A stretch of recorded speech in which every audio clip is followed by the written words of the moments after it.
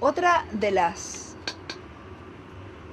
funciones o de las tareas que puede realizar un gobierno progresista, un gobierno que quiere avanzar en la construcción del socialismo, es la transformación de las Fuerzas Armadas.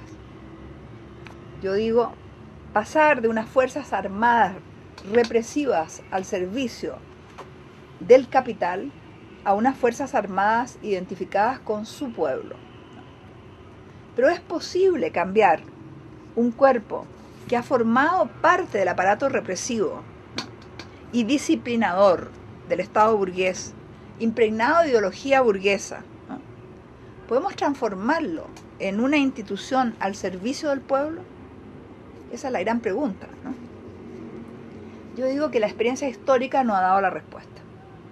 De hecho, si nosotros observamos lo que ha pasado con los militares en Venezuela, hemos visto que históricamente han jugado un relevante papel en la defensa de las conquistas democráticas del proceso iniciado por el presidente Chávez. Ahí está el papel que desempeñaron en el golpe de abril.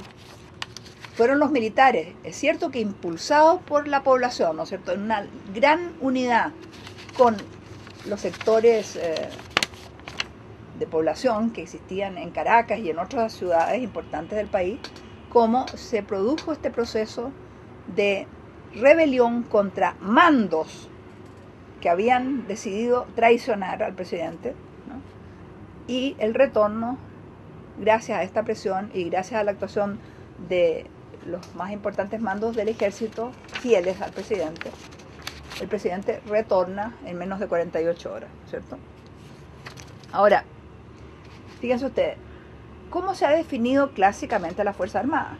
Como defensora del orden, ¿no es cierto? O sea, y tú le preguntas a un militar sin mucha cultura política cuál es tu papel y él te responde defender el orden. Y ese ha sido, claro, ¿qué orden es el que tenemos que preguntarnos? ¿Cuál es el orden que esos militares defienden? Hasta ahora, hasta antes de estos procesos que estamos viviendo en América Latina, ese orden era el orden del capital, el orden del Estado burgués, el orden que figuraba en esas constituciones. Un orden que defendía a los capitalistas, defendía la su propiedad y que pues eh, limitaba las posibilidades de organización popular para luchar contra ese capital. Entonces, el orden se usaba cuando había huelga, el orden se usaba cuando había cualquier tipo de insurrección popular para, para o de salir a las calles para conseguir las mínimas cuestiones de la vida cotidiana, pan, techo, abrigo, ¿no?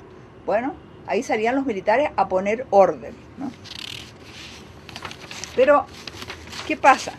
Ah, bueno, y eh, Álvaro García, el vicepresidente de Bolivia, decía, mira, lo más en una entrevista que le estaba haciendo yo recientemente, ¿no? Decía, ¿dónde estaban los militares en Bolivia?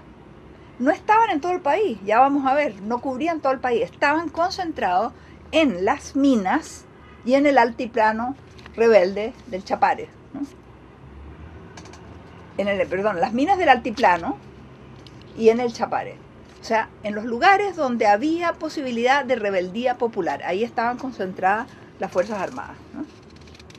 Como por supuesto una fuerza de contención, de atemorizamiento, de, de freno de las luchas de los sectores populares. Pero resulta que nuestros gobiernos, y el presidente Chávez fue muy lúcido en esto, pues se, han planteado cambiar ese orden. Pues, y eso fue la nueva constitución. El proceso constituyente no es otra cosa que un cambio del orden institucional que ha existido en estos países. Entonces, hoy día, las Fuerzas Armadas, ya cuando defienden el orden, están defendiendo un nuevo orden, un orden de una sociedad en que le da protagonismo a la gente, en que protege a la gente, al pueblo organizado, etc. Ahora, cómo se puede ir transformando esta fuerza, que fue represiva, que fue usada por los sectores privilegiados de la sociedad, en una fuerza al servicio del pueblo. ¿Qué pueden hacer nuestros gobiernos? Bueno, en primer lugar, una de las cosas que han hecho prácticamente ha sido encargarle a los militares tareas sociales de tal forma de ponerlos en contacto con los sectores más pobres de la población.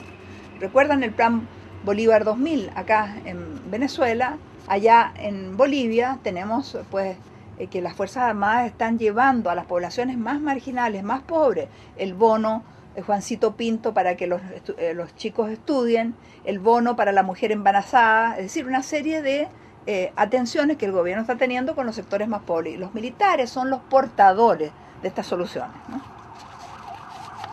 Otra de las cosas que puede hacer estos gobiernos es impulsar escuelas de formación y cursos con un contenido distinto al que a la ideología que desde las escuelas de las Américas se les inyecta a los militares de nuestro eh, proceso.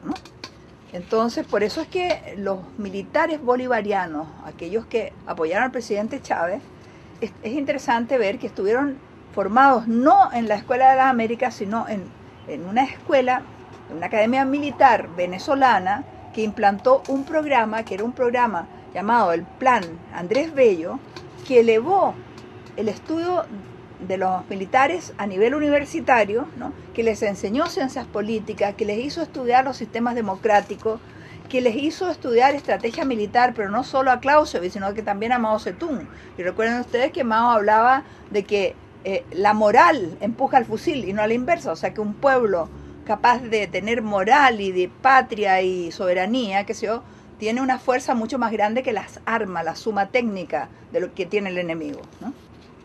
Y también pues estos militares pudieron intercambiar, fueron a las universidades venezolanas, intercambiaron con otros estudiantes y todo eso pues les hizo tener una visión de país muy distinta a militares, por ejemplo, los chilenos, que no tuvieron ninguna posibilidad de tener este tipo de curso. Otro, otro mm, punto fundamental, ¿no? Es eh, el poder responsabilizar a las Fuerzas Armadas de grandes proyectos de infraestructura. Porque es cierto que la Fuerza Armada tiene un sentido fundamental que es la defensa del país y que tenemos que prepararnos para defendernos porque estamos viviendo en un mundo sometido a las amenazas del imperio del norte, ¿no es cierto? Por desgracia, el deseo de los procesos revolucionarios no es armarse. El deseo de los procesos revolucionarios, como Fidel, el inicio, era, el proyecto de Fidel, ¿cuál era? Que los cuarteles se transformaran en escuelas yo estuve en un cuartel transformado en escuela en 1960 en la Sierra Maestra. Y sin embargo, hoy día Cuba es uno de los países más armados de América Latina. ¿Por qué?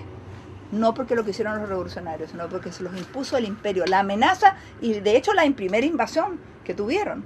Gracias al pueblo movilizado fue que se detuvo, no solo el ejército, que se detuvo esa invasión de Playa Girón.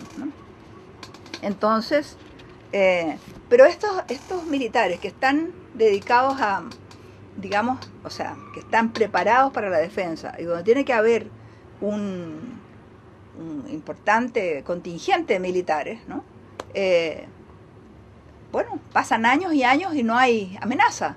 Bueno, justamente toda la capacidad técnica, todos los conocimientos profesionales que tienen pueden entonces, durante o sea, por lo menos cíclicamente, o un sector de los militares dedicarse a proyectos de construcción de país, no solamente esperar el posible ataque enemigo. Entonces, hay posibilidad de que los militares participen en la producción, que los, los militares participen en la, las grandes obras de infraestructura que hay que crear, carreteras, comunicaciones, etcétera.